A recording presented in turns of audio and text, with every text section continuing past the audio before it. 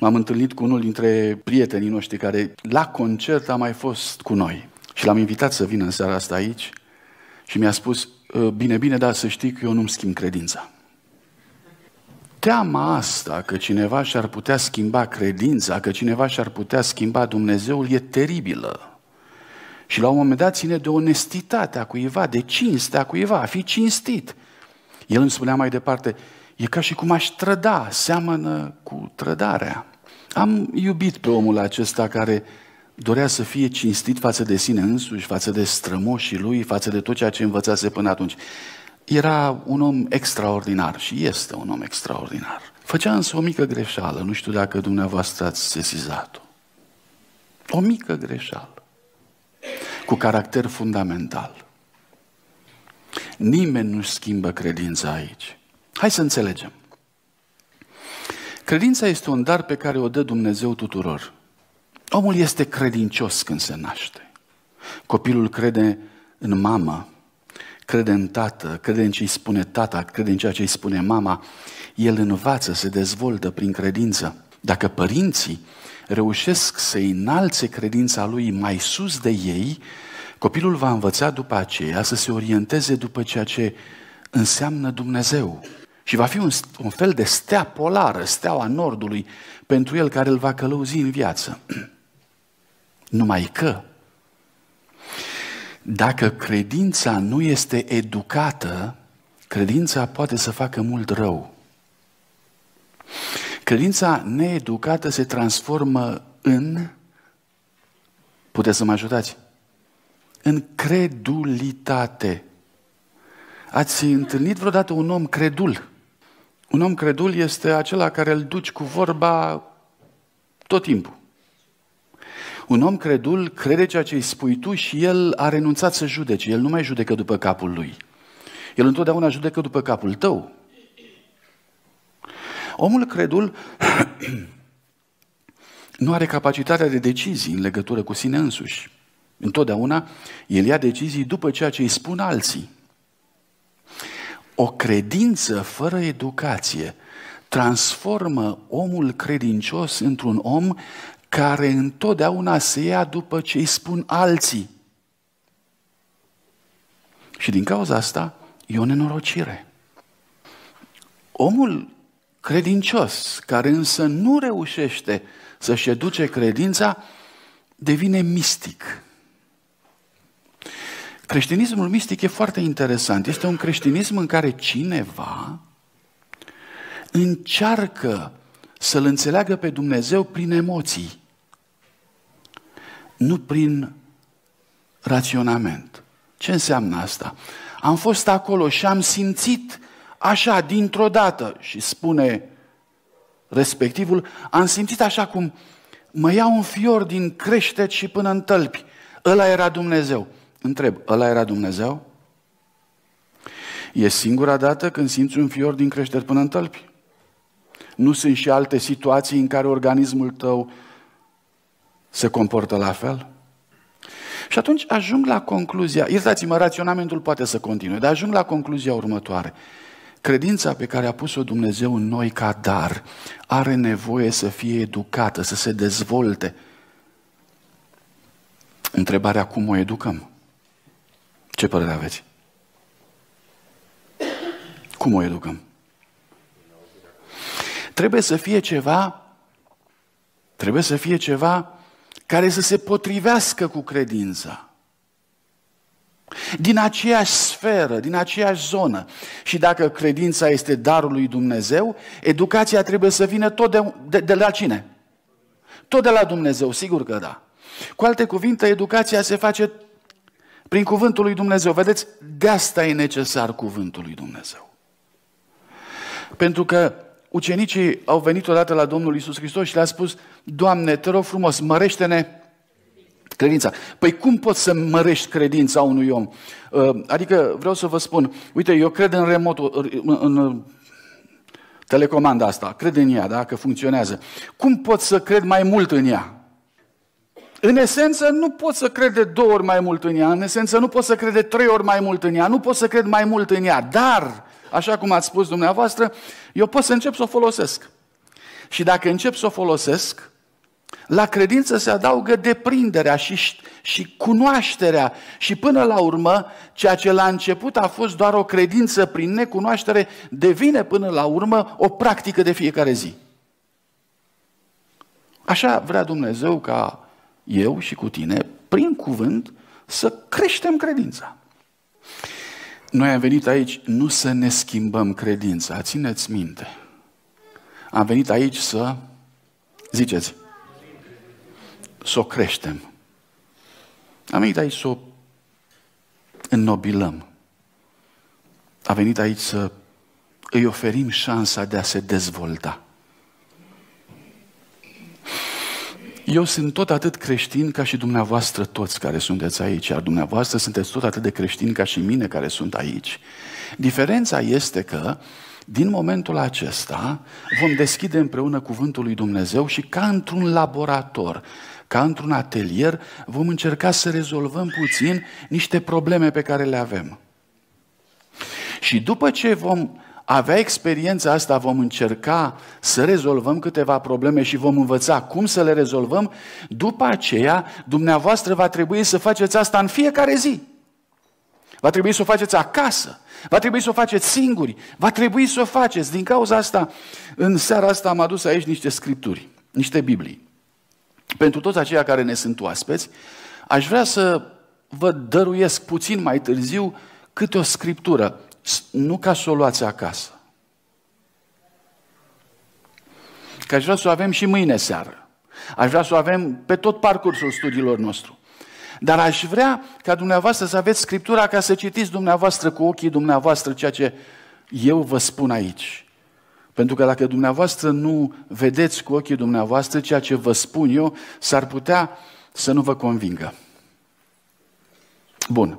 Și aceasta a fost uh, oarecum un soi de a lămuri o problemă. Una simplă, dar care ar fi putut să ne zgârie tot timpul. Adică, domnule, ce vor ăștia de la mine? Ăștia vor să-mi schimb credința. Dragii mei, nu. Ceea ce facem aici, repet, este să ne mărim credința, să ne o cultivăm, să ne o educăm. Din ce cauză?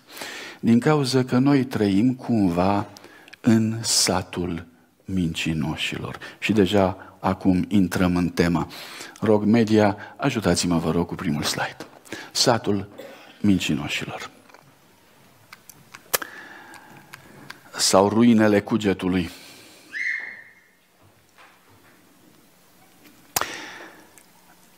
E vorba de imaginație aici. Imaginați-vă că sunteți într-un sat cu mincinoși. Da? Toată lumea minte. Dar toți.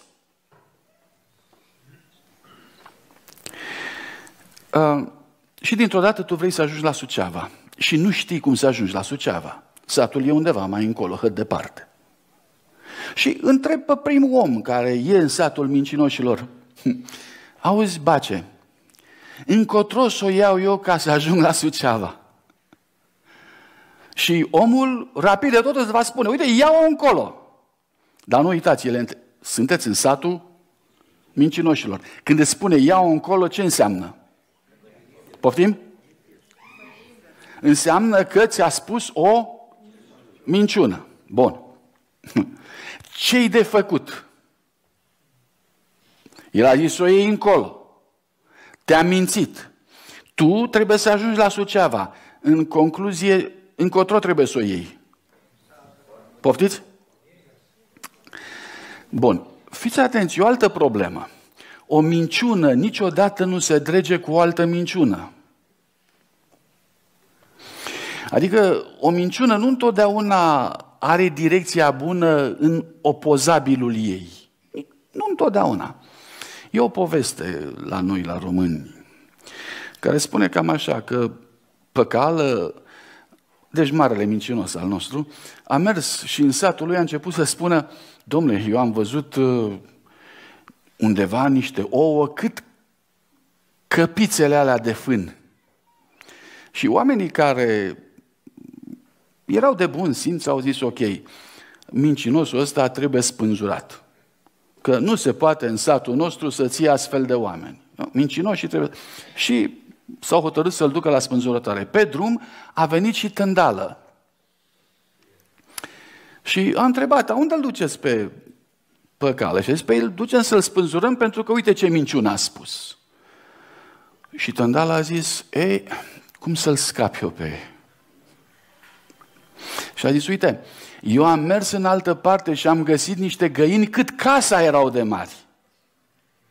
Și atunci oamenii au raționat și au zis, dacă există găini cât casa, pot să facă niște ouă cât o căpiță. Vă rog să observați cum minciunile pot să creeze un mediu aparent acceptabil. Când stai într-un sat al mincinoșilor și când asculți și pe unul și pe altul, după o vreme începi să-ți construiești lumea ta, cu găini cât casa, cu ouă cât căpițele. Asta e. Ce șansă ai când trăiești într-un sat cu mincinoși? Care-i soluția? Și dumneavoastră ați intuit lucrurile și ați început să mi le spuneți și vreau să vă dau dreptate. Și soluția este următoarea. Într-un sat cu mincinoși, prima soluție este îndoiala. Cu alte cuvinte, să te îndoiești de tot, dar absolut de tot ce îți spun ei. Corect? Trebuie să te îndoiești. Bun. Terminăm cu satul mincinoșilor. Să presupunem că există undeva opusul, un sat al oamenilor onești, care toată lumea spune numai adevărul. Și te duci din nou unde este Suceava. Și ei îți spun, Suceava este acolo.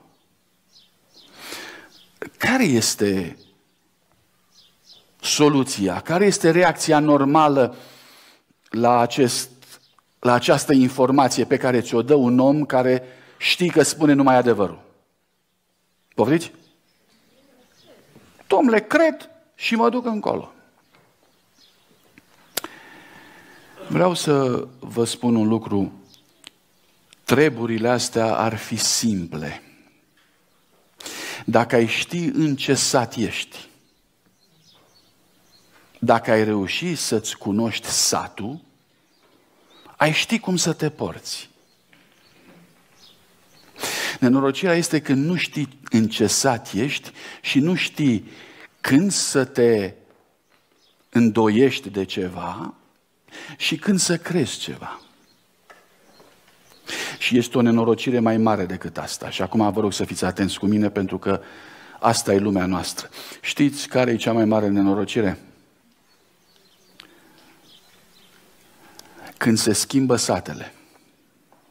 Cu alte cuvinte, când eu cred că sunt într-un sat cu oameni onești și în realitate sunt în satul mincinoșilor. Problema este că eu, în satul mincinoșilor, crezând că sunt în, at, în satul oamenilor corecți, eu îi cred pe toți. E o tragedie. Și când mă duc în satul oamenilor onești, și cred că sunt în satul mincinoșilor, oamenii aceștia îmi spun numai adevărul și eu mă îndoiesc de ei. Îi cred pe cei care îmi spun minciuni și mă îndoiesc de cei care îmi spun adevărul. În lumea asta suntem noi astăzi. Și aș vrea să urmăriți puțin această realitate. Cea mai mare dilemă a căutătorului de adevăr astăzi este că nu știe în ce sat e. Încă o dată, dacă aș ști că stau în satul mincinoșilor, m-aș îndoi de toată lumea. Dar nu știu. Dacă aș ști că sunt în satul oamenilor onești, i-aș crede pe toți. Dar dacă sunt în satul oamenilor onești și mă îndoiesc, și dacă sunt în satul oamenilor mincinoși și îi cred pe toți, e o tragedie.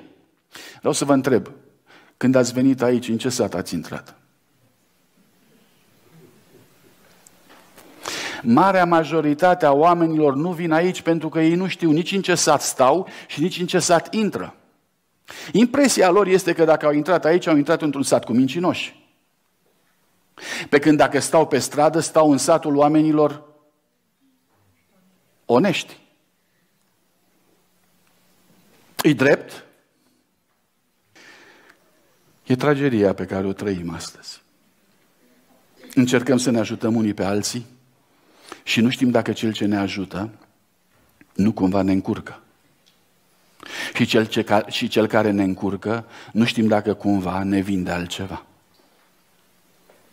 Nu vi se pare că asta este cea mai mare problemă în care, cu care ne confruntăm? Adrian Păunescu, în Poezis Moldove, se minte cum nu s-a mințit niciodată. E multă minciună la noi pe pământ, sunt false recursuri și nu-i judecată. Balanța cea veche a dreptății s-a frânt. Dar hai să mințim fără nicio rușine. Dar hai să mințim în direct și în răspăr, că poate prin rău vom ajunge la bine. Minciuna supremă va fi adevăr. Vreau să vă întreb, se minte sau nu se minte în lume? Se minte sau nu? Cât adevăr se spune în politică? Se minte sau nu? Se minte sau nu? Ziceți. Da, ba. Cât adevăr se minte în comerț, în spiritul de reclamă. Se minte sau nu? Vi s-a întâmplat vreodată să cumpărați ceva și să vi se vândă altceva? Mulțumesc.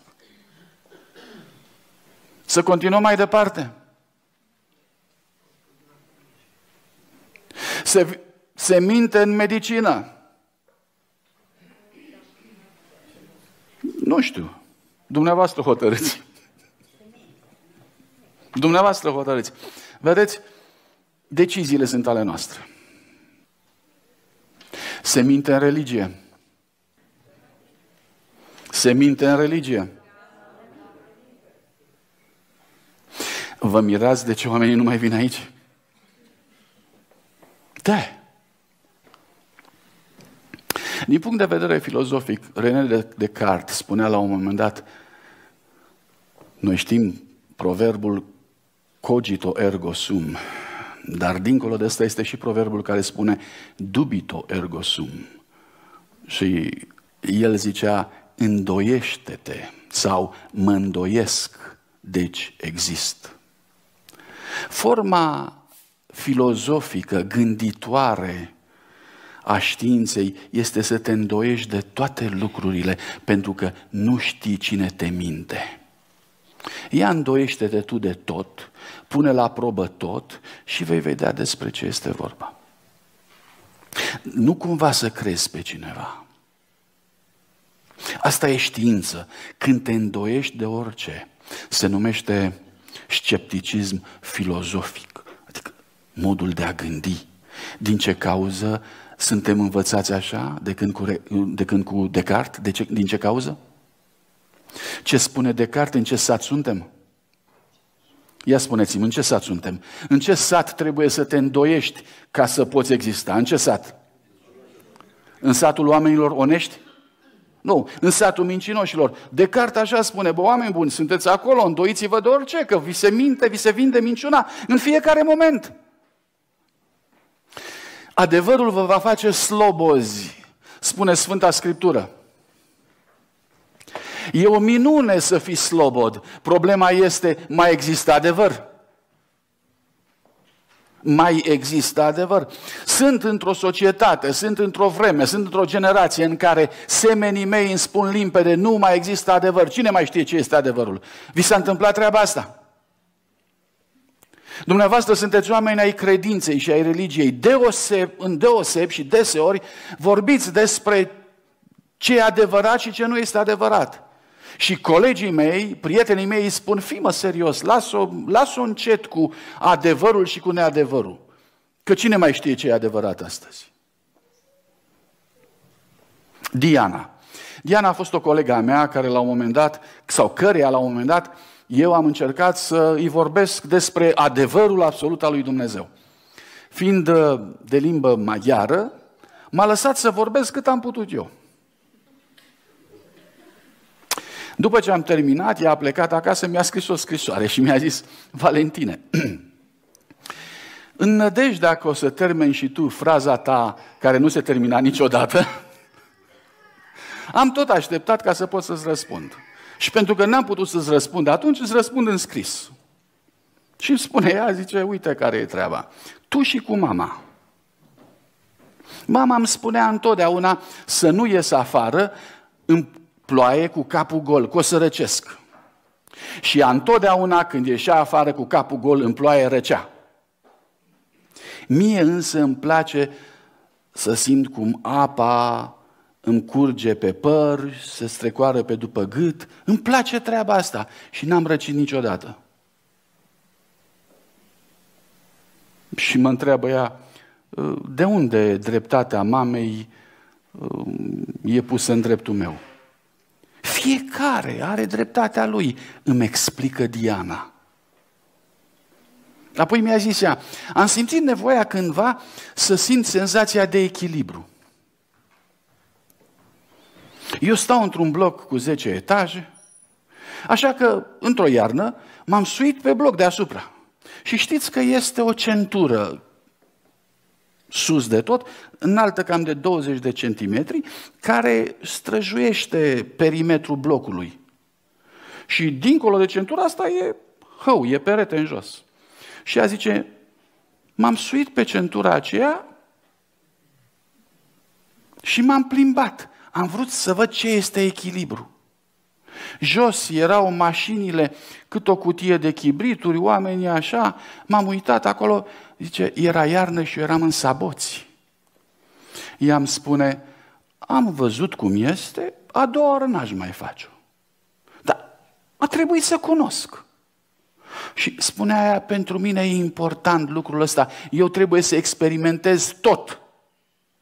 Nu pot să-mi spun, să spui tu mie cu mie. Lasă-mă să fac experiența asta. Ce părere aveți? Nu e filozofia de viață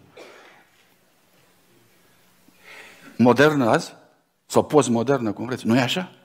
Nu fac așa toți tinerii noștri. Se întâmplă sau nu? E cam multă tăcere în sală.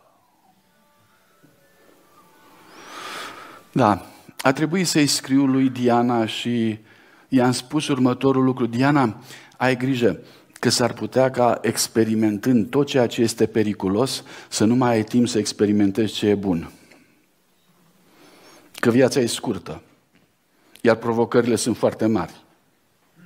Dumnezeu nu face altceva decât să spună, dacă vrei să te bucuri, de ce nu experimentezi pale bune întâi? Termină tot ceea ce este bun întâi de experimentat și, pe urmă, după ce termin tot ceea ce este bine, apucă-te și de ale rele, dacă chiar crezi că merită. Dar nu începe cu cele rele, nu începe cu lucrurile dubioase, pentru că nu vei mai ajunge niciodată la cele bune. Așa e cu drogurile. Sunt uh, bombardați tinerii cu tot felul de, de tentații. Și înainte să cunoască viața asta, li se spune, de ce nu încerci tu o viață alternativă? Foarte provocator. Întrebarea este, dar tu ai cercetat viața asta? Știi ce e viața? Nu, nu știu. Și de ce vrei să încerci o alternativă? Păi, și la 15, 16 ani, ei încep cu o viață alternativă. Și droguri puternice le răpesc tinerețea, capacitatea de judecată și capacitatea de a se mai întoarce vreodată în lumea reală. Satul mincinoșilor, să știți că are o, o putere fantastică, are o forță extraordinară asupra noastră și dacă nu avem grijă, el se impune. În timp ce ni se spune că adevărul ne face slobozi, în același timp trebuie să înțelegem că satul mincinoșilor ne face captivi sau ne face robi. Ok. Cea mai dramatică situație din punctul ăsta de vedere a fost atunci când Pilat, la judecata Domnului Isus Hristos, a trebuit să decidă cine este Isus Hristos. Și el se luptă cu două idei care se bat cap în cap. O primă idee este formația lui filozofică, că îl întreabă pe Iisus Hristos, auzi, ce e adevărul? Cu alte cuvinte, cine mai știe ce e adevărul? Pilat era un om din generația noastră. Este, era un om ca acei oameni care nu se pot opri aici, într-o astfel de întâlnire, pentru că ei nu cred în valoarea și în puterea adevărului. Ei trec pe lângă. Cine știe ce e adevărul? Să fim serioși. Fiecare e cu adevărul lui. Tu ai adevărul, tu ai adevărul, eu am adevărul. Asta e. E foarte greu să mai știi ceva pe lumea asta dacă și eu am adevărul, și tu ai adevărul, și tu ai adevărul. Și se întâmplă ca adevărul tău să se bată cap în cap cu adevărul meu și cu adevărul dânsei. Că asta înseamnă că nici eu nu știu adevărul, nici tu nu știi adevărul, nici celălalt nu știe adevărul. Asta înseamnă. Asta este atunci când spunem noi, în lumea religioasă, nu e nicio problemă, fii liniștit, o să fii mântuit și tu, o să fii mântuit și tu, o să fii mântuit și eu, că doar nu e Dumnezeu așa de rău să ia numai pe unii la cer. Lasă că ne ia pe toți. De ce? Pentru că și tu ai adevărul, și tu ai adevărul, și eu am adevărul. Bun. Ce înseamnă asta? Când eu și cu tine, de fapt, ne comportăm foarte diferit. De ce și tu ai adevărul, și eu am adevărul, și el are adevărul? În realitate spunem, nici tu n-ai adevărul, nici tu n-ai adevărul, nici tu n-ai adevărul. Ăsta e ceea ce spunem. Călătoream pe tren. Făceam naveta. Și fiind creștin, de fiecare dată când mergeam cu trenul, stăteam de vorbă cu câte cineva. Și în compartiment mi s-a întâmplat treaba asta și vi-o spun ca fiind uh, trăită de mine. La un moment dat, cineva mi-a zis, domnule, n-are rost să-mi cer mie să mă pocăiesc, că n-am făcut niciun rău. Să fie clar, n-am dat în cap la nimeni, n-am furat. Ei, mai beau și eu din când în când. Da, n-am furat, domnule. Dacă aș ști că am furat, unul care fură, du la pușcărie, dar faptul că mai beau și eu din când în când și că mai scap la o cârciumă, asta este, doar nu, nu e așa de grav ca furatul. Bun. A doua zi m-am întâlnit cu altcineva pe tren și spunea, domnule, mai fur și eu câte ceva. Dar fur de la fabrică. Fur din lanul de porumb. Pe, lanul ăla de porumb a fost al lui bunicul meu. L-au luat ăștia la colectiv. Eu iau din ceea ce era lui bunicul meu și iau de la fabrică că toată lumea ia. Ce mare lucru, nici nu se vede. Iau și eu un șurub, două, șaibă, ce mare lucru. Fiecare și așa nu ne plătesc ăștia destul. Dar să beau. Dar să beau eu? Niciodată. Păi la care bea își bate nevasta, nu se înceartă cu copiii, vai și amar. Ăla care bea, ăla da. Dar eu, dacă fur puțin, hm? Ce e adevărul? Cine are dreptate? Spuneți-mi și mie. Și în timp ce ne încurcăm în judecăți de felul acesta, el, Pilat, a trebuit să iasă în fața mulțimii care asista la judecată și să spună în fața tuturor, uite omul, ecce homo, Păi cum poți să spui tu, iată omul, când tu nu știi ce e la adevăr? Afirmația pe care o faci tu acum, iată omul, are vreo urmă de adevăr? Are? N-are. Iată omul și... Înțelegeți? Asta a fost dilema lui. Ce să fac?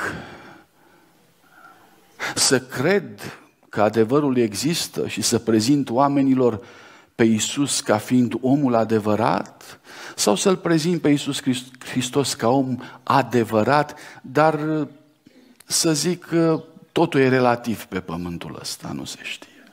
Știți care a fost consecința? Uitați-vă. În Faptele Apostolilor, capitolul 3, Apostolul Pavel zice așa. Dumnezeu a proslăvit pe robul său Isus, pe care voi l-ați dat în mâna lui Pilat. V-ați lepădat de el înaintea lui. Versetul 14.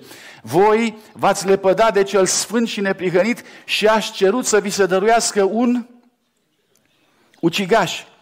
În ce condiții se poate ca eu să mă leapăd de cel sfânt și cel de neprihănit și să cer să mi se dăruiască un criminal? Adică să schimb neprihănitul cu un criminal. În ce condiții e posibil lucrul ăsta?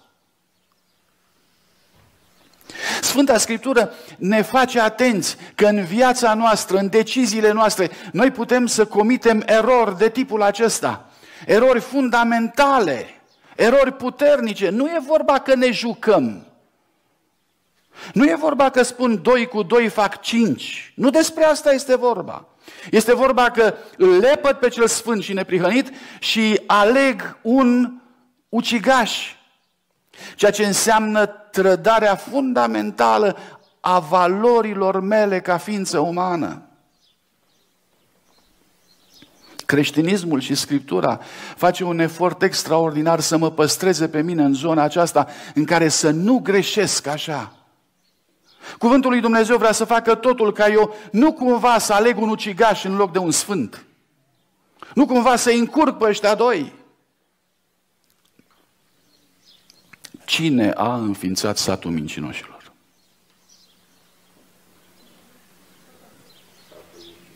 Cine a înființat satul mincinoșilor? Când s-a înființat satul mincinoșilor? E interesant, există o realitate în Sfânta Scriptură peste care noi trecem foarte ușor. În Geneza capitolul 3. În Eden, satul oamenilor onești, paradisul.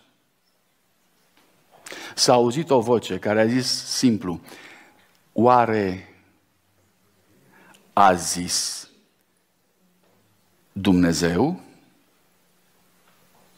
Și din momentul acela a apărut satul mincinoșilor.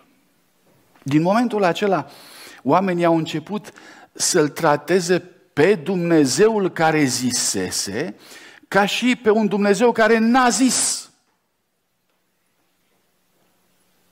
Au început să se îndoiască de Dumnezeu, ca și cum Dumnezeu ar fi din satul mincinoșilor, că acolo te îndoiești.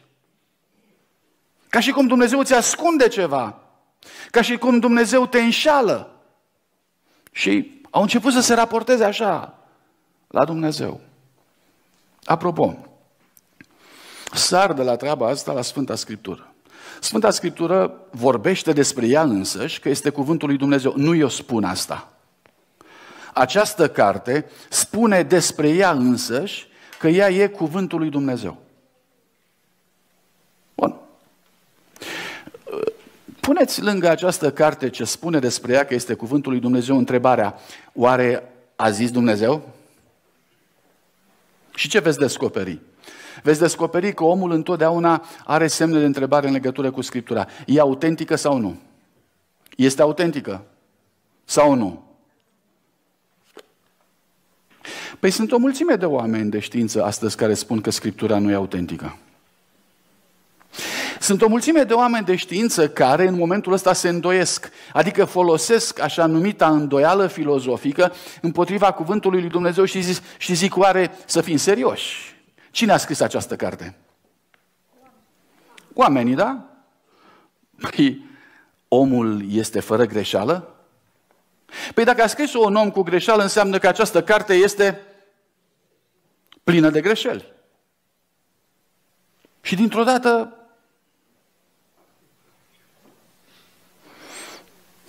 încrederea în faptul că Dumnezeu a zis s-a dus. Dar, încă o dată, cine a început să zică oare a zis Dumnezeu? Cine a zis? Observați, genialul sau geniul răului pune problema în felul acesta în dreptul lui Dumnezeu. Am să fim serioși, crezi că Dumnezeu zice? Dumnezeu este Deus absconsus, un Dumnezeu ascuns, care nu zice și dacă zice, tu și așa nu poți înțelege. Vi-a spus cineva că Biblia nu poate fi înțeleasă? Păi de ce spune cineva că Biblia nu poate fi înțeleasă când Biblia spune asta este revelația sau descoperirea cuvântului lui Dumnezeu? Adică cuvântul spune, eu sunt descoperire și vine cineva și spune, nu, nu, nu, o fi a descoperire, dar tu, tu, tu nu poți înțelege ce a descoperit Dumnezeu. Vedeți cum crește satul mincinoșilor. Sunt probleme aici. Sus, Erasmus de Rotterdam trăiește între 1466-1536. Este omul care descoperă manuscrisul Noului Testament de limbă greacă, păstrat în arhivele Constantinopolului bizantin. După cucerirea Constantinopolului de către turci, grecii de la Constantinopol au venit în Italia purtând lăzi cu literatură în limba greacă. Acest filozof al renașterii se aruncă în lăzile alea cu manuscrise, le cercetează și până la urmă, spre surprinderea lui, găsește acest manuscris vechi al Noului Testament. Erau și altele, era Codex Vaticanus, Sinaiticus și așa mai departe, dar el găsește încă o copie, cea mai veche dintre toate. Știți cum a numit-o? Scrie acolo jos, textus receptus, ceea ce înseamnă textul primit, dăruit și el face trimitere un text pe care ni l-a dat Dumnezeu nouă. Este unul dintre cei mai mari filozofi a evului mediu. Dumnezeu ne-a dat asta.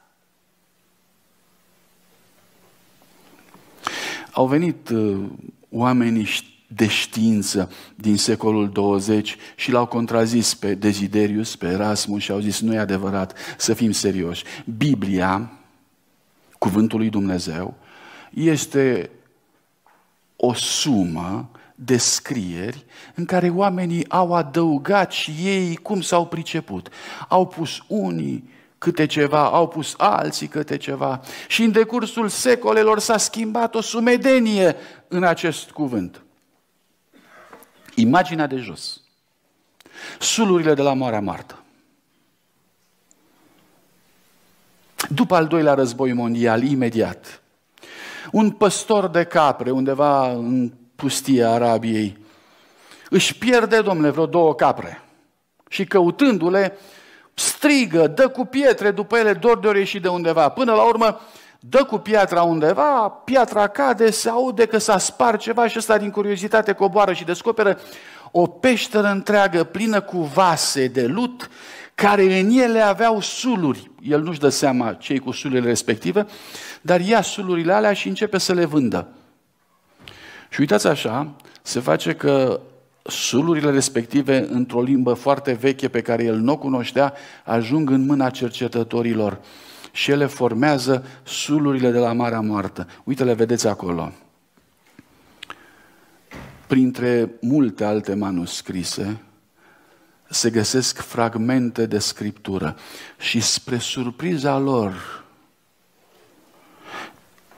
în jurul anilor 1950, vă dau date aproximative pentru ca să le țineți minte, în jurul anilor 1950, descoperă faptul că manuscrisele astea erau manuscrise biblice ce datau din secolul II înainte de Hristos. Secolul II înainte de Hristos. Și când le compară cu Biblia pe care le avem acum, descoperă că erau identice. Surpriza a fost fantastică. O carte care și-a menținut identitatea ei din secolul II înainte de Hristos până în 1949. Aceeași carte. Nu s-a schimbat nimic. Și nu sunt numai fragmente. Au descoperit cartea profetului Isaia din Vechiul Testament integrală. A descoperit cartea profetului Daniel integrală. Și în momentul acela a întrebarea oare a zis Dumnezeu a venit cu o putere fantastică și acum vă rog să-mi spuneți, a zis Dumnezeu sau nu? A zis Dumnezeu sau nu? Cel puțin din punct de vedere al autenticității istorice, al trecerii ei prin istorie, cartea asta nu s-a jucat cu noi și nici noi nu ne-am jucat cu această carte. Cartea aceasta a prezentat o, o, o putere și o, o acuratețe care au imit pe cercetători. Se plimbă în America cu aceste facsimile. Acum un an de zile au fost în San Diego și toată lumea care a vrut le-a putut vedea. Și apoi în alt oraș, și apoi în alt oraș, pentru ca să știe bine toată lumea că aici este o carte care și-a păstrat originalitatea ei. Satul mincinoșilor. După ce în cadrul ispitirii geniul răului a pus întrebarea oare a zis Dumnezeu? După aceea, satul mincinoșilor a continuat cu dilema aceasta.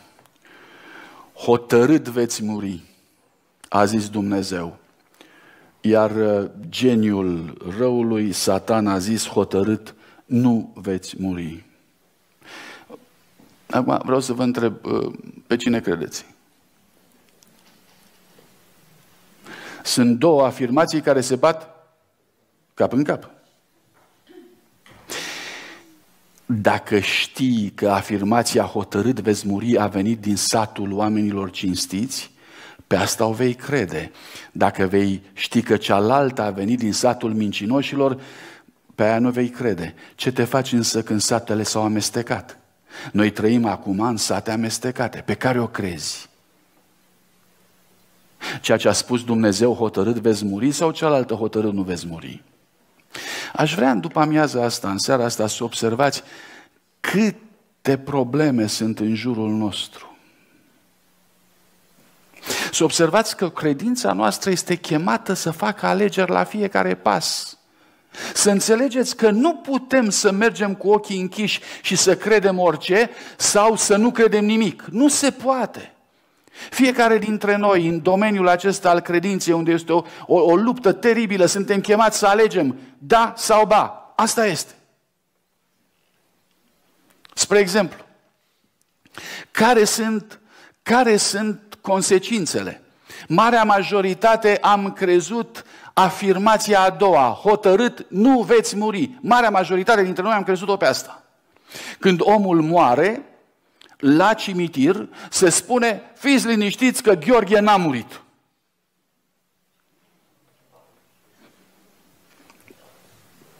La una dintre mormântările la care am participat în ținutul Olteniei mai de mult, a fost pus în, moart, în, în groapă coșciugul și am rămas puțin așa amărât lângă coșciugul respectiv. Și în timp ce se punea pământul, m-am trezit singur. Singur. Când mă uit, era pe un deal, toți oamenii o luaseră la fugă în vale. Și am întrebat, de, de unde fugă așa? Și ce? Se duc la pomană. Păi de ce, mama? Păi sufletul a ieșit și dă târcoale pe lângă casă. Deci nea Gheorghe care murise, fugea pe lângă casă. Murise sau nu? Ziceți. Murise sau nu? Nu murise, frate. Că era pe lângă casă, pe la strașină. Și ei se duceau acolo ca să... De ce se duceau la pomană? Poftiți? Să-i dea să mănânce. Lunea Gheorghe, că e foame. După atâta fugă. Deci, nu știu de ce, dar în loc să credem că omul va muri, am crezut pe altă că omul nu va muri. Știți care sunt consecințele? Haideți să le vedem puțin. Am crezut că morții trăiesc când Dumnezeu a zis că ei trebuie înviați. Vedeți care e diferența? Sunt două lucruri care se bat cap în cap. leu, ce am făcut? Așa. Când crezi că morții trăiesc, nu mai ai nevoie de înviere. Limpede, dacă un mort trăiește, de ce să-l mai învii? Spuneți-mi și mie. Trăiești, adică învii pe unul care nu mai trăiește, da? Așa că, datorită faptului că morții trăiesc, nu mai avem nevoie de înviere. Bun. Mergem mai departe. Am crezut că omul e nemuritor în consecință și moartea e doar o părere, o iluzie. Atunci vă rog să-mi spuneți mie, cu ce e plin Universul? Poftiți? Cu ce e plin Universul? Păi a murit și tata Gheorghe și mama Floare și așa mai departe. Unde s-au dus? Poftiți? Peste tot. Peste tot. Văzduhul e plin de ei. Da? Sunt miliarde. Nu-i de mirare că sunt unii oameni care zic așa, da, hai să vorbim cu ei. Și se practică vorbitul cu morții, ghicitul, tot felul de comunicări de felul ăsta. Și când îi trebuie, băi, cu cine ai vorbit tu? Vorba lui Bogdan Peticei cu HD-ul, săracul, zice, am vorbit cu Iulia, cu fata mea. Tu cu cine ai vorbit? Pe eu l-am chemat pe tata. Tu cu cine? Mama, băiatul, fata. Toți credem sau cred că Universul e plin de cei morți și își cheamă morții apropiați, că doar nu mă minți pe mine, fata mea. Dar treaba asta merge dacă morții trăiesc. Dar dacă cumva morții nu trăiesc, atunci noi că am zis până acum că e plin universul cu dei morți, dar în realitate cu cine e plin?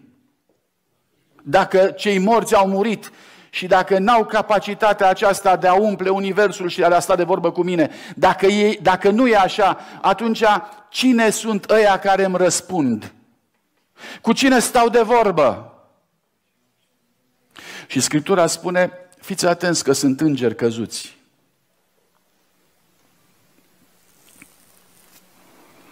Păi, dragii mei, greșeala asta nu e mică. Greșeala asta nu e mică. Greșeala asta este mare. Adică dacă în loc să vorbesc cu Iulia, care e fata mea, zice Bogdan Petricei cu HD, eu vorbesc cu un înger căzut, adică cu un înger rău, adică cu un demon. Nu vi se pare că greșeala e mare? Nu vi se pare că e mare?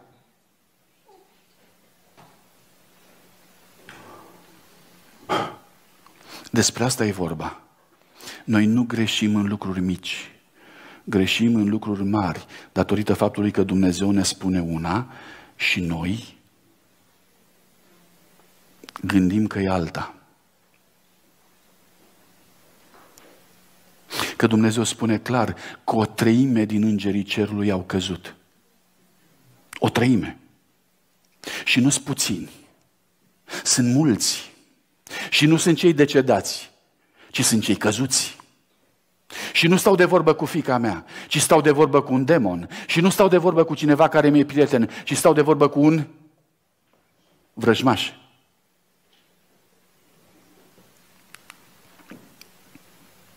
Apoi, am concluzionat că învierea este nenecesară. Din ce cauză? Păi dacă morții trăiesc, nu mai am nevoie să înviez. Învierea e nenecesară și în plus este imposibilă.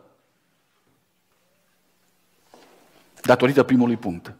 Deși Hristos a murit și a înviat. Sfânta Scriptură spune că El e martorul lui Dumnezeu, că înviere există. Este prima mărturie. Corinteni 15 spune, dacă nu există învierea morților, nici Hristos n-a înviat. Dacă anulăm învierea, înseamnă că anulăm tot. Hristos nu mai are nicio valoare. Vă rog să observați cum lucrurile se leagă unele de altele.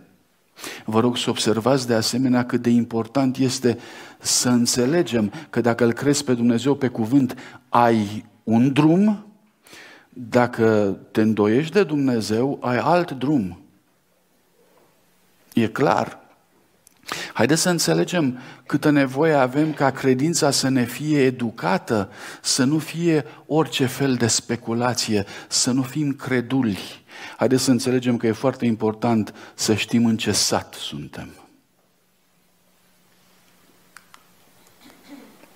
Pe urmă, am crezut că mântuirea e oricum.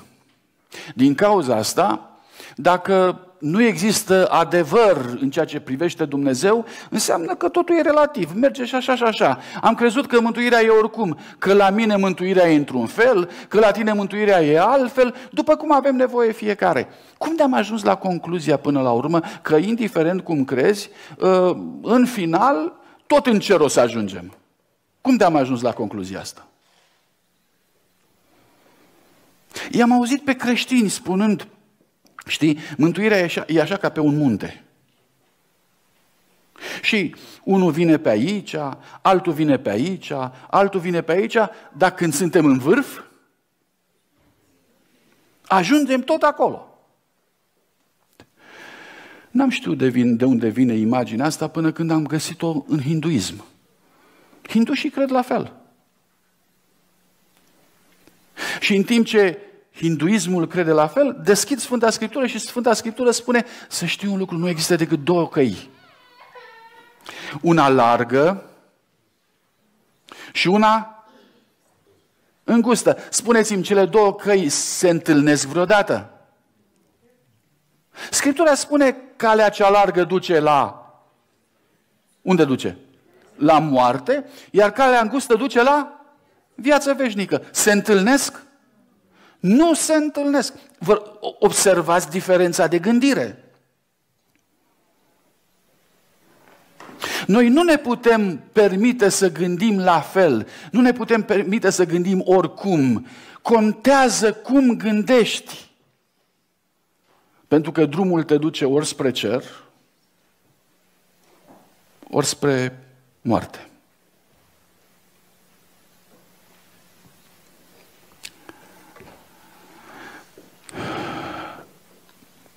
Răstignirea lui Isus Hristos îmi arată că nu e oricum.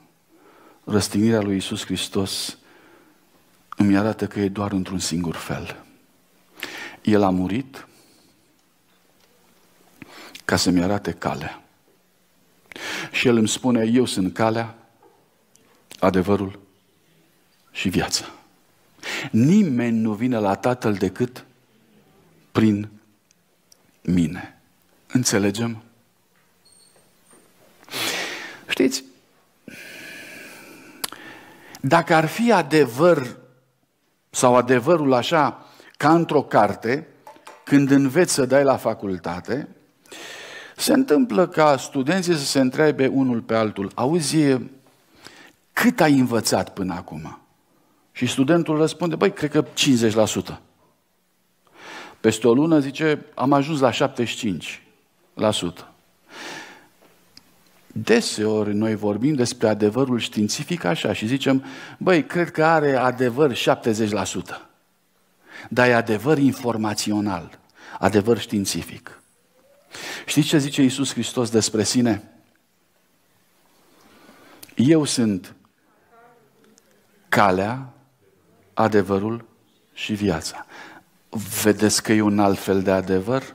Dacă adevărul este Isus Hristos, poți să ai adevărul 90%?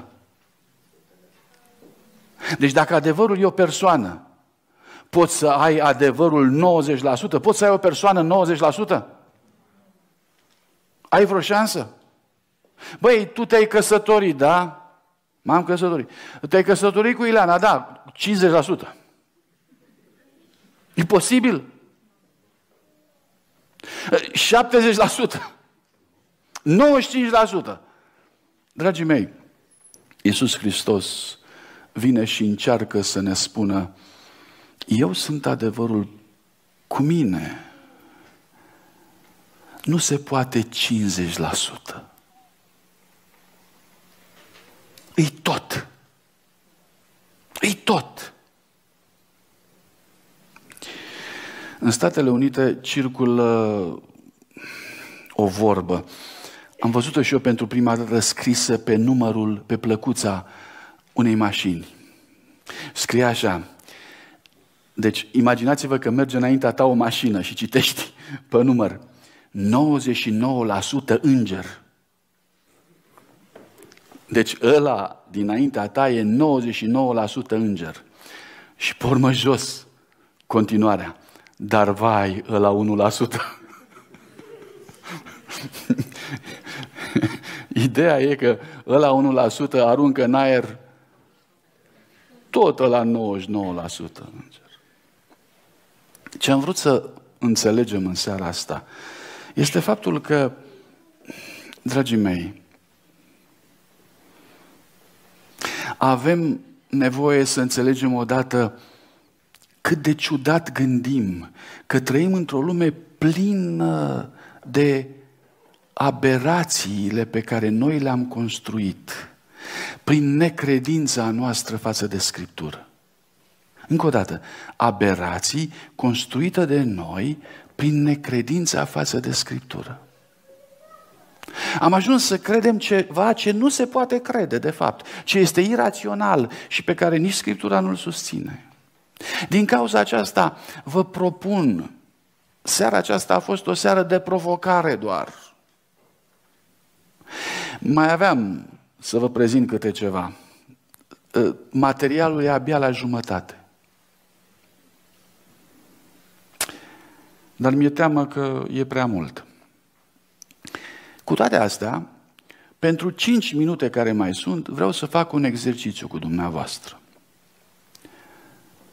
Un exercițiu de citire. Haideți să citim ceva, repede.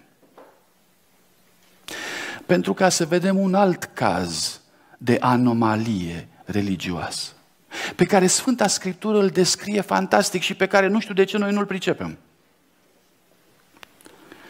Haideți, deci încă o dată, 5 minute vă mai cer. Citiți împreună cu mine. Cei ce fac, Isaia, Isaia 44, țineți minte, de acolo e tot și e verset după verset. În seara asta, dacă aveam timp, eu aș fi vrut să chem pe cineva din sală, dintre musafirii noștri și să citească împreună cu mine din Scriptură aceste versete. Da, nu mai e timp. Ce să fac? Mergeți acasă, țineți minte, Isaia 44 și le veți găsi acolo. Cei ce fac idoli, toți sunt deșertăciune. Acum, înțelegeți sensul. Cine sunt deșertăciune? Nu, nu zice idolii. Asta e mai rău. Că idolii tot știm că suntem deșertăciune, dar aici zice și cei ce se ocupă cu idolii și îi fac, ăia devin deșertăciune. Nu numai idolii. Deci, cei ce fac idoli, toți sunt deșertăciune și cele mai frumoase lucrări ale lor nu slujesc la nimic. Ele însă le mărturisesc lucrul acesta. N-au nici vedere, nici pricepere, ca să rămână de rușine. Vă rog să vă gândiți la iconoclasmul nostru, da? la, la, la icoanele noastre care sunt. Eu nu vreau acum să vă să intru și să intru în polemică cu dumneavoastră, dar vreau doar să identificați. Vă rog să observați, toți aceia care n-au vedere, n-au pricepere, ăia sunt idoli. Indiferent cum uh, filozofia de astăzi sau uh, religiile încearcă ele să evite problema. Scriptura spune limpede, bă, n-are vedere și pricepere, e idol, gata. E clar? E clar, bun, mergem mai departe. Cine este acela care să fi făcut un Dumnezeu? Sau să fi turnat un idol și să nu fi tras niciun folos din el? Ăsta este punctul 2. De ce se fac idoli? Ziceți. Dacă nu avem răspuns, citiți în Faptele Apostolilor, capitolul 19, acolo unde se vorbește despre Diana Efesenilor. Argintarul Dimitrie se supără foarte tare pe Pavel că a venit în Efes și că vorbește împotriva idolilor. Și el spune, uh, meseria noastră, spune el, meseria noastră este pe butuci din cauza lui Pavel. Wow! Există interese financiare în privința asta. Îmi pare rău, nu vreau să jignesc pe nimeni. Dar e o realitate. Versetul 14. Omul își taie cedrii, goruni, stejar pe care își alege dintre copacii din pădure, sădește brazi, ploaia îi face să crească. Copacii ăștia slujesc omului pentru ars. El îi ia și se încălzește cu ei. Îi pune pe foc să coacă pâine, tot din ei face... Asta e paradoxul. Adică după ce ai făcut pâine și sunt bun de foc, tot cu ei face un Dumnezeu căruia îi se închină, își face din ei un idol și îngenunchează înaintea lui. Și Isaia este pur și simplu uluit de lipsa de logică a lucrurilor. Că vă rog să observați cum el demonstrează, zice, bă frate, un metru de, din, lemn, din același lemn îl bași pe foc, celălalt metru din același lemn îl faci un idol. Unde-i puterea magică? Unde-i harul din lemnul ăla care să-ți facă bine? Unde e?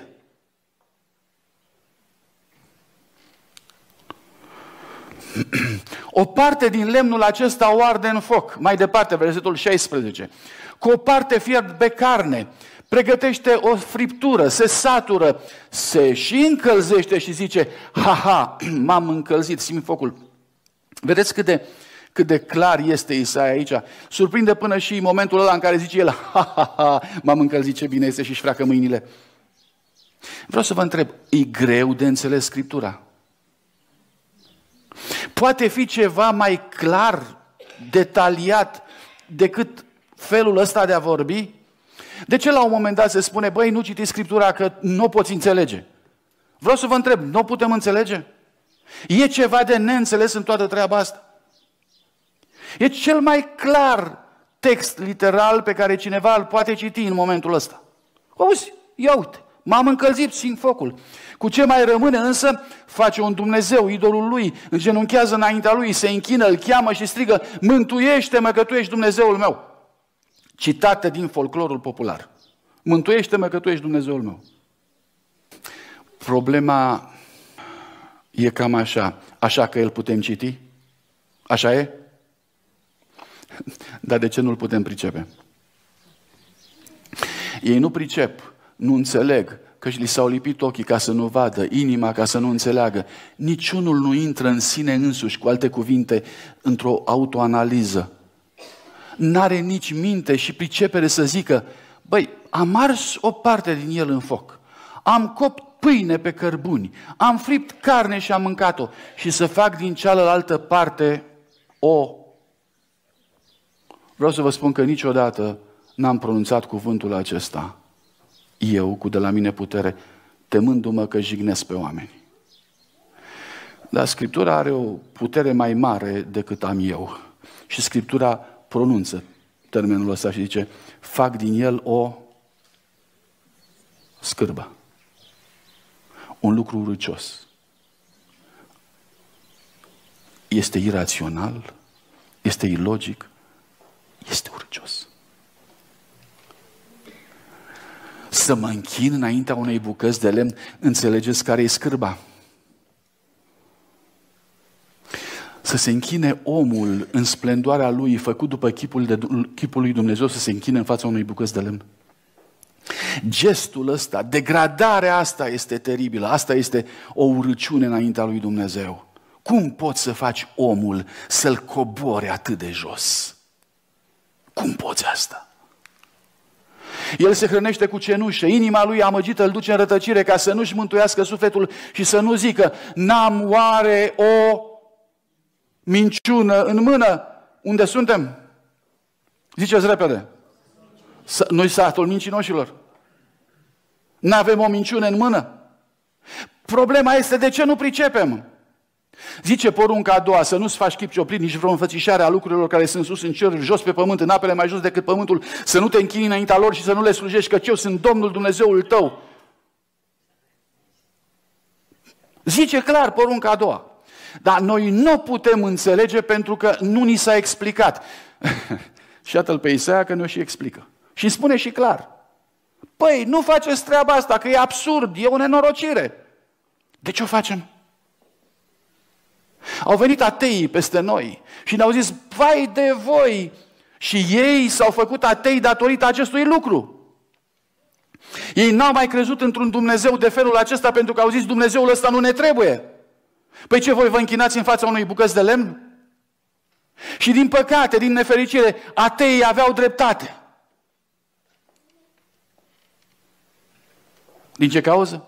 Pentru că eu n-am priceput. Că cuvântul lui Dumnezeu îmi spusese de mult. Oameni buni, e o nenorocire, e o scârbă, e o minciună. Câte probleme sunt în jurul nostru? Câte provocări? Câte aberații? Vedeți de ce e nevoie ca cuvântul lui Dumnezeu să ne educe, să ne formeze, pentru ca credința noastră să ne poată crește? Din cauza asta. Dragii mei, noi nu venim aici doar de dragul de a ne întâlni, nu venim aici doar de dragul de a face o liturghie frumoasă. Venim aici de dragul de a ști că Dumnezeu ne poate și vrea să ne vorbească direct, clar. Are pentru noi domenii în care trebuie să schimbăm enorm de mult. Și Dumnezeu vrea să facă asta cu noi. Întrebarea asta am mai pus-o, aș vrea să o pun și spre final. Când ai venit aici, ai vrut să te schimbi? Când ai venit aici, ai vrut să te schimbi? Dacă vrei să te duci undeva unde să, să ai ce schimba în viața ta, vino aici. În fața cuvântului lui Dumnezeu, ai ce să schimbi, ai ce învăța, ai ce pricepe. Haideți să facem lucrul ăsta.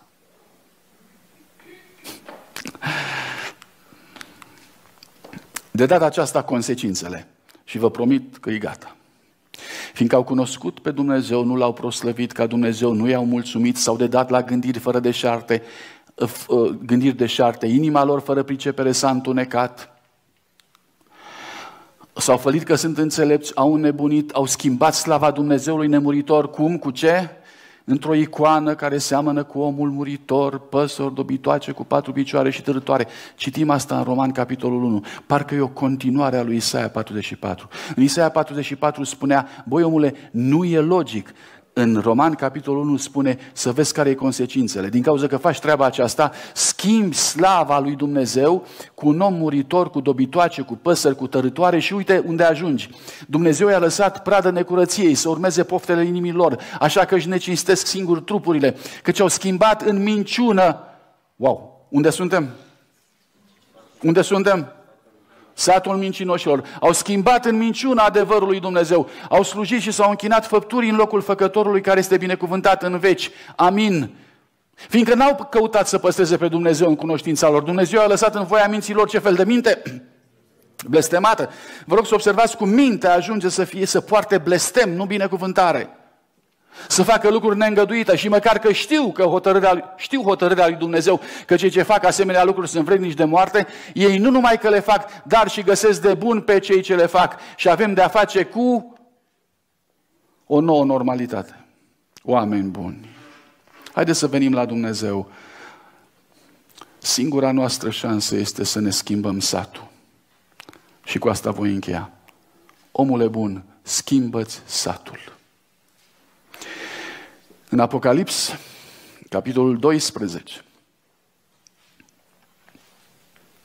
Iertați-mă, aici este capitolul 18. El a strigat cu glas tare și a zis, a căzut, a căzut Babilonul cel mare. A ajuns un locaș al demonilor, o închisoare a oricărui duc necurat, o închisare a oricărei păsări necurate. Și apoi am auzit un alt glas care zicea, ieșiți din mijlocul ei, poporul meu, ca să nu fiți părtași la păcatele ei, să nu fiți loviți curgiile ei. Schimbă-ți satul, ieși din el. S-ar putea întâmpla ca satul în care ești tu să semene foarte mult cu un fel de Babilon, așa o Babilonie întreagă. Și cuvântul lui Dumnezeu zice, ieși. Vreau să vă întreb, când zice ieși, înseamnă să schimbi credința? Și cu asta Mă opresc. Înseamnă să schimb credința? Pentru unii seamănă.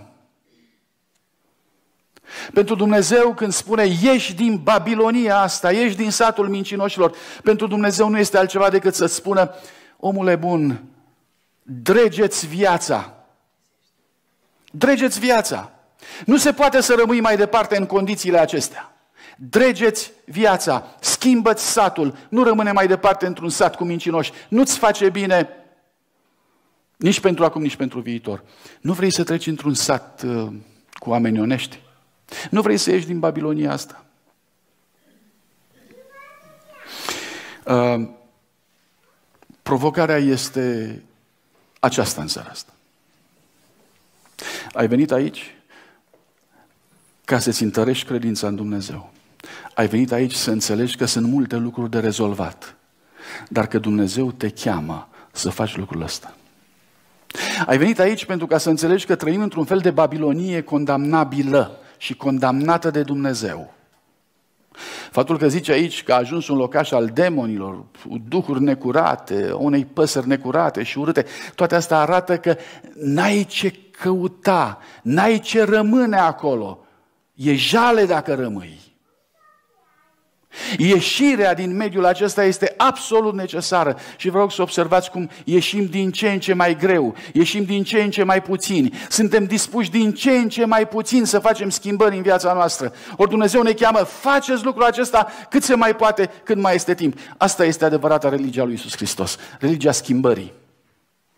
Dinamica deciziilor pe care noi trebuie să le luăm în fiecare zi, nu după mintea mea, ci după cuvântul lui Dumnezeu. Mă opresc aici. Vă rog să observați un lucru. Nu fac apeluri la sfârșit. Va veni o vreme când voi face și apeluri. Va veni o vreme când voi, mă voi adresa la cei din bănci și le voi spune cine dintre dumneavoastră vrea să ia decizii în privința aceasta să se ridice. Să ridice o mână. Să facă ceva. Pregătiți-vă și pentru momentul acela, dar deocamdată nu. Suntem la început. V-am spus de acum pentru ca să știm încotro mergem. Mergem în direcția unei schimbări extraordinare din punct de vedere al înțelegerii și din punct de vedere al realității noastre spirituale. Dumnezeu să vă ajute. Dumnezeu să vă întărească. Să vă dea curaj. Să nu vă fie teamă. Să vă schimbați, nu credința ci viața. Credința doar să crească, să devină puternică și să fiți oamenii credincioși al lui Isus Hristos într-o vreme a minciunii și a înșelătoriei. Vă invit să ne rugăm. Tatăl nostru, venim înaintea Ta să te rugăm să ne ajuți să nu iubim minciuna. Venim înaintea ta să ne ajuți să ne descoperi minciuna. Fă să înțelegem, Doamne, că trăim într-o zonă a luptelor spirituale foarte puternice și că avem nevoie de adevărul cuvântului Tău prin Isus Hristos. Te rog să binecuvintezi pe aceia care în seara aceasta ne-am strâns împreună în locul acesta pentru a ne înțelege condiția pentru a ne înțelege felul în care suntem provocați și în care se desfășoară luptele din jurul nostru și din viața noastră. Și după ce facem asta, în numele Domnului Isus, te rog să ne dai putere să iubim adevărul, să iubim pe Dumnezeu care vrea să se descopere în viața noastră și să ne descopere ce este bine și frumos și să fim dispuși, Doamne, să vrem să trăim o viață frumoasă și nobilă. Amin. În numele Domnului Isus te-am rugat toate acestea. Amin. Amin. Vă rog să luați loc. Înainte ca corul să se urce aici, eu vreau să stau puțin de vorbă cu dumneavoastră și să vă întreb un lucru că e important pentru mine. Cred că v-am ținut în seara asta prea mult. Am început să-mi fac mustrări de conștiință cam de multă vreme. Și aș vrea să îmi spuneți dacă credeți că merită să riscăm în felul ăsta. Sau trebuie să ne concentrăm mai mult. Cum vi se pare? Ne concentrăm pe viitor? Mai uh, com, comasăm din mesaj? Am fost pe punctul ca astăzi să, să trec peste două sau trei pasaje. Și în timp ce mă gândeam să trec, mi-a fost așa de greu, mi-a părut așa de rău, încât am zis, voi risca. Dar acum dumneavoastră trebuie să-mi spuneți mie dacă am făcut bine sau nu. Um, pe viitor să-mi spuneți. Să fiți deschiși cu mine. Și mă voi opri. Și voi scurta. Vedem ce facem. Însă e lupta sufletului meu. Această luptă de a crea dovezi cât mai puternice pentru a convinge măcar un suflet care este aici. De un adevăr care așteaptă după noi de secole de un adevăr care ne-ar putea salva din ceea ce înseamnă plonjarea noastră ca și creștinism în abis și refacerea noastră ca oameni înaintea lui Dumnezeu. Dumnezeu să vă binecuvinteze, să vină corul.